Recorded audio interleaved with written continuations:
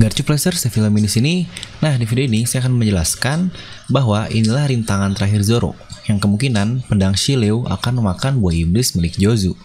Nah, mari tanpa basa-basi lagi, kita langsung saja. Wadaw.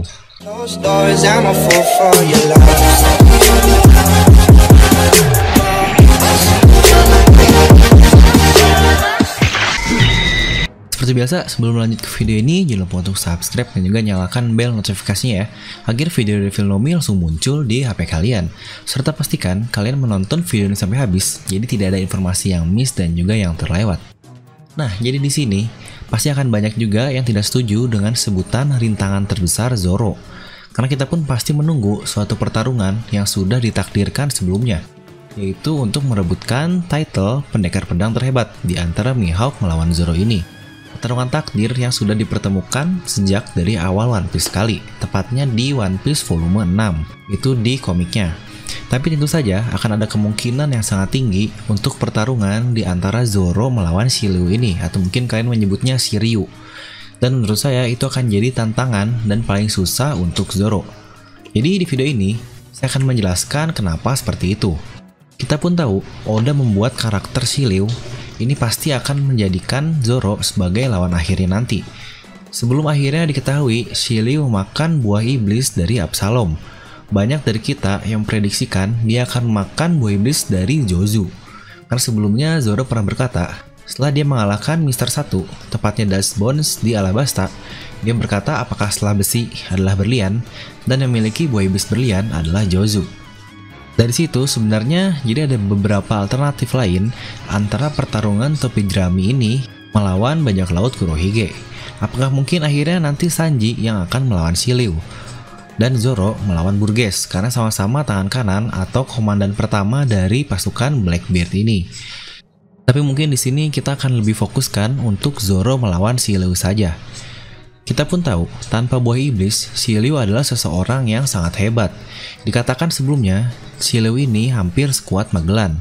Tapi di Fever Card data book 3 dikatakan bahwa Shiryu ini takut dengan Magellan, jadi mungkin kekuatannya sedikit di bawah Magellan.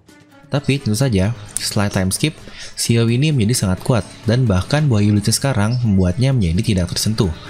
Mungkin untuk bayangannya kalian tahu sekuat apa Magellan, dia bahkan menjadi Chief Warden di Impel Down, di mana isi dari orang-orang Impel Down adalah orang-orang yang sangat hebat, yang berarti penjaganya haruslah seseorang yang luar biasa gila, yaitu Magellan ini. Ketika banyak teori yang berkata bahwa Shiryu akan memakan buah iblis Jozu. Di sini saya akan berkata bahwa pedang Shiryu lah yang akan memakan buah iblis dari Jozu. Kenapa?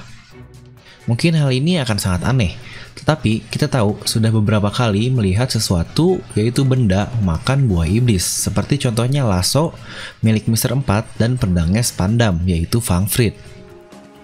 Jadi untuk saat ini Suke-Suke Nomi yang sudah dimakan oleh Sileu dan mungkin ntar dia akan makan buah iblis Jozu untuk pedangnya itu akan menjadi power up yang luar biasa untuk Shileu ini. Karena mengingat perkataan Oda, Zoro akan memotong berlian. Berarti itu sudah dipastikan Zoro harus memotong buah iblis dari Jozo ini. Banyak laut Blackbeard sedang dalam pencarian buah iblis yang sangat kuat. Jadi sudah dipastikan mereka akan mengincar buah iblis dari komandan kaptennya yaitu Jozu. Hal ini pun tidak aneh, kenapa? Karena kita tahu kaptennya yaitu Blackbeard dia mempunyai dua buah iblis, yaitu Gura-Gura, Paramecia, dan Logianya Yami-Yami.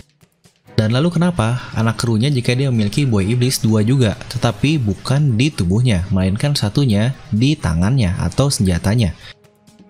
Walaupun bisa saja buah iblis Jozo ini dimakan oleh Burgess, karena hal itu pun cukup pas selain tangan kanan Teach, postur tubuhnya pun sangat pas yaitu Burgess memiliki postur yang mirip dengan Jozo.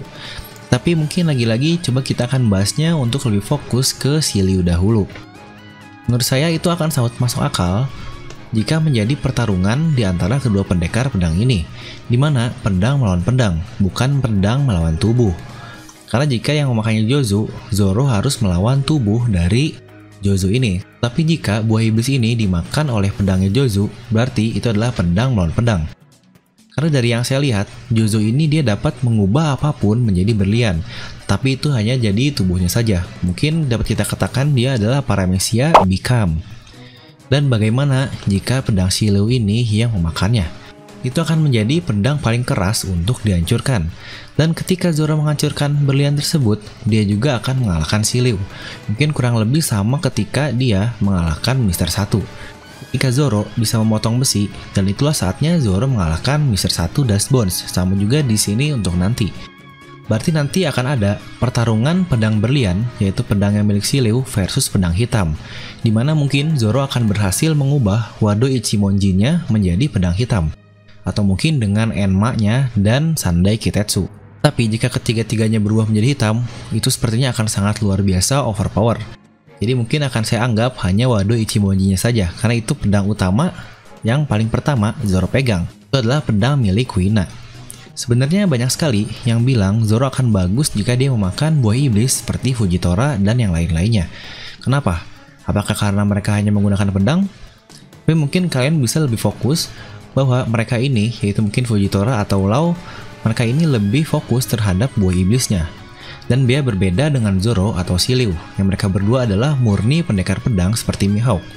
Walaupun buah iblisnya mereka yang sangat kuat, tetapi skill berpedangnya pun luar biasa juga. Di Impel Down, kita melihat Shiliu dapat mengalahkan Kroco-Kroco dengan sangat cepat. Dia pun sekuat Magellan, di mana Magellan adalah user buah iblis yang termasuk para Mesia yang sangat hebat, yaitu para Mesia racun.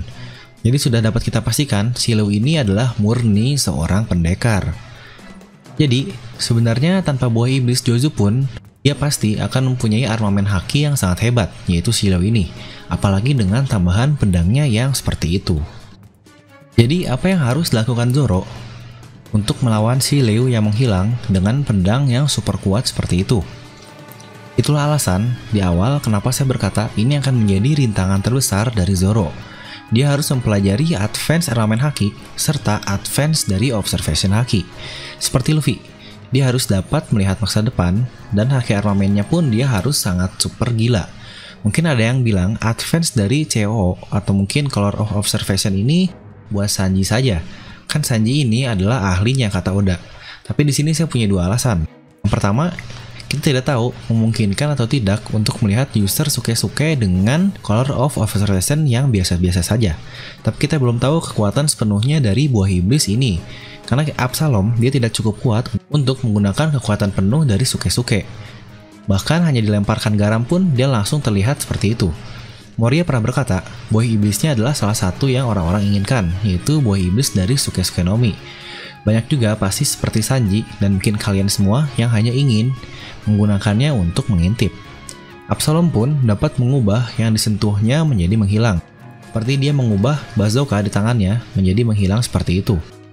Jadi dia bisa menghilangkan atau mengubah semua kru dari Blackbeard atau dari Tix ini menghilang jika bersentuhan dengan silo ini. Bahkan kita pun masih belum tahu awak keningnya. Tapi mari kita coba bicarakan tentang pertarungan satu versus satu melawan Suke-Suke Nomi ini. Apakah awak kening dari buah iblis ini? apakah akan sama dengan Logia dan para Mesia Krit lainnya, yaitu seluruhnya akan berubah menjadi menghilang.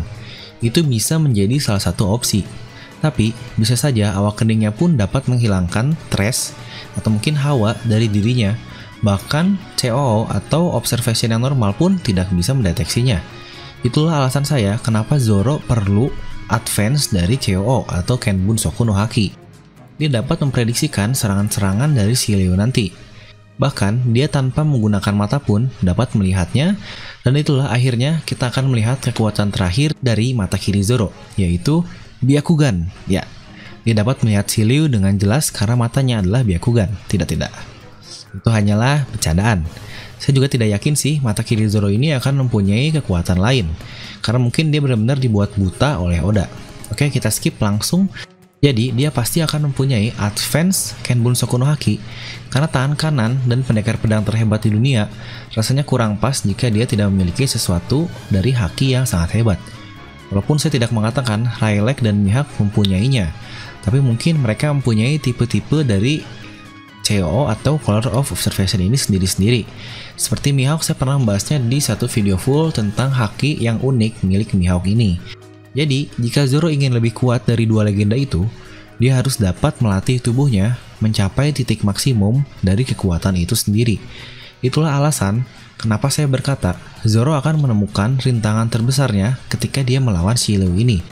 Jadi, kapan Zoro akan melawan Mihawk? Kemungkinan itu akan jadi pertarungan paling dramatis, di mana akhirnya Zoro mengeluarkan kemampuan asuranya yang sudah level power up atau sesuatu yang baru di depan Mihawk ini. Dan Zoro pun sudah mendapatkan super power up ketika dia melawan si Liu. Ataupun mungkin banyak juga teori yang berkata bahwa si Liu ntar akan membunuh Mihawk. Dan Zoro untuk mendapatkan title itu, dia harus mengalahkan si Liu. Itu bisa saja terjadi, karena kita masih belum tahu ke depannya seperti apa. Nah, jadi bagaimana pendapat kalian tentang si Liu ini? Apakah benar-benar Zoro akan mengalahkannya seperti itu? Dan apakah mungkin pedang dari si Liu ini akan mempunyai buah iblis dari Jozu? Mungkin kalian bisa langsung tuliskan pendapat kalian di kolom komentar di bawah. Dan seperti biasa, semoga kalian terhibur dengan video ini. Like aja video ini kalau kalian suka, dislike aja kalau nggak suka. Jangan lupa untuk subscribe dan juga share video ini ke teman kalian. Gue Devil pamit, and I'll see you guys next time.